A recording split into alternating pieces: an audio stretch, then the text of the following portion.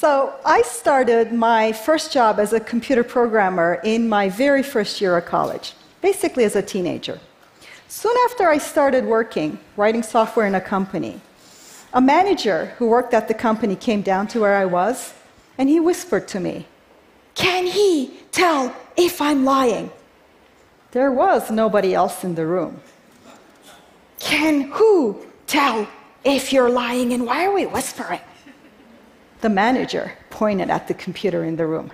Can he tell if I'm lying?